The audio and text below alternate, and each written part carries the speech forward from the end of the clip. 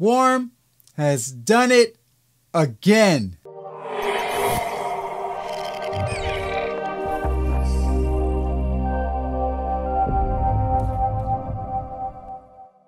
Welcome to the Rhythm Studio, where we're talking percussion, music production, and music technology.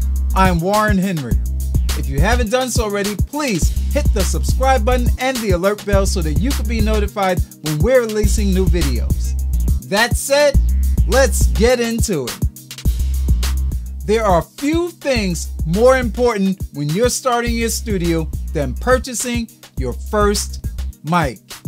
It's a crucial decision because there are so many choices. Well, Warm has made your decision making a lot easier with the release of the WA67, a replication of a timeless classic beloved by this guy.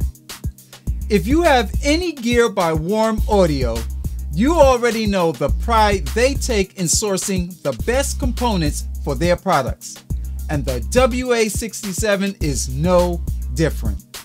This mic by Warm Audio has a custom K67 style vintage capsule, Lundahl transformer, as well as an EF86 tube, guaranteed to give you that silky, smooth 67 sound.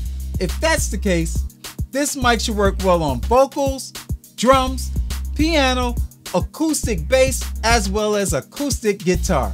In the comments below, tell me what you think about the WA67.